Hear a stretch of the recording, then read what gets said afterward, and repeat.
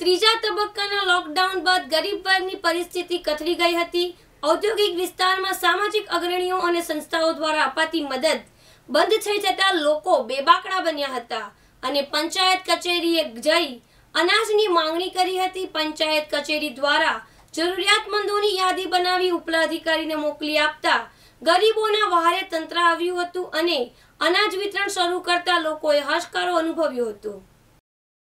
વૈશ્વિક મહામારીએ દરેક માણસ જાતને મુસીબતમાં મૂકી દીધા છે. ચારે કોર હાહાકાર મચી ગયો છે. લોકડાઉનને કારણે લોકો બેરોજગાર બનતા લોકોને ખાવા માટે અનાજના ભંડાર ખૂટી પડ્યા છે. પલસાણા તાલુકાના ઔદ્યોગિક વિસ્તારથી ધમધમતા તાથી થયા ગામે હજારોની સંખ્યામાં પરપ્રાંતિઓ રહે છે. જેઓને લોકડાઉનના સમયે સામાજિક સંસ્થા તરફથી અપાતી મદદ પણ રાજકારણને લઈ બંધ થઈ જતા અહીંના લોકોને બે ટંકના ભોજન માટે ફાંફા પડ્યા હતા. ઔદ્યોગિક એકમો તરફથી અપાતી કીટમાં રાજકીય લાભને ધ્યાનમાં રાખીને વહેંચવામાં આવતા કેટલાક લોકો અનાજથી વંચિત રહી ગયા હતા. જેઓ છેલ્લા બે દિવસથી તાતી થયા ગામ પંચાયત આવી તલાટી કમ મંત્રી તેમજ સરપંચને રજૂઆત કરતા પંચાયત દ્વારા જરૂરિયાતમંદોની યાદી તૈયાર કરવામાં આવી હતી અને મામલતદાર કચેરીએ મોકલવામાં આવી હતી. જે બાદ મામલતદારે સર્વે કરી ગુરુવારે વહેલી સવારથી અનાજની કીટનું વિતરણ શરૂ કરી દેતા લોકોમાં ખુશીની લહેર ફરી વળી હતી. તેઓને કીટમાં પાંચ કિલો ઘઉંનો લોટ, ત્રણ કિલો ચોખા, એક કિલો દાળ, એક કિલો તેલ આપવામાં આવ્યું હતું. જેને લેવા માટે આવેલ લોકોમાં સોશિયલ ડિસ્ટન્સિંગ જળવાયું ન હતું. એ લાંબી લાઇનમાં સ્પષ્ટપણે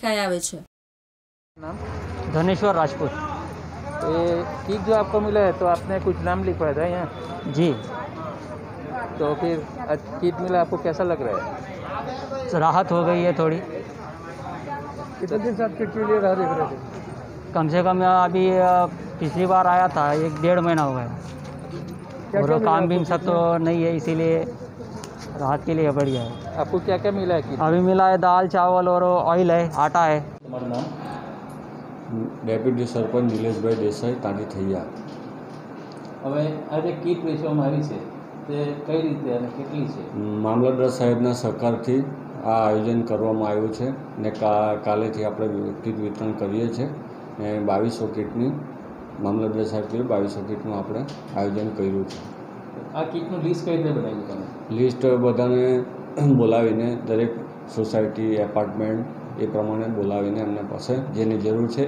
એના માટેનું લિસ્ટ બનાવ્યું છે. અત્યાર પછી પણ હજુ આપવાનું કોઈ આયોજન છે? તો આમાં માણસો વધી જશે તો એનું આયોજન અમે કરીશું આગળ. રમેશ ખંભાતી દિવ્યાંગ ન્યૂઝ પલસાણા.